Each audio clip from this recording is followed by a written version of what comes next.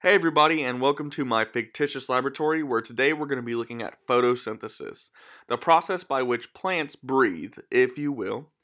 And we're actually going to be looking at a byproduct of photosynthesis, oxygen production. So let's get started. Alrighty, so what we're seeing here, other than our worm friend, is a lot of algae that I collected from lake water. Now this algae uh, actually goes through photosynthesis, which produces oxygen as a byproduct. And if you look at these air bubbles, you'll notice that the air bubbles are actually uh, getting bigger. And that's because as the light hits the algae, the algae undergoes photosynthesis, and photosynthesis produces some oxygen. And this oxygen is being trapped in these air bubbles. Now, what you're seeing is a time lapse from 40 minutes to 40 seconds. So it's happening a lot slower than what you see in the video, but this lets you visualize it a lot better.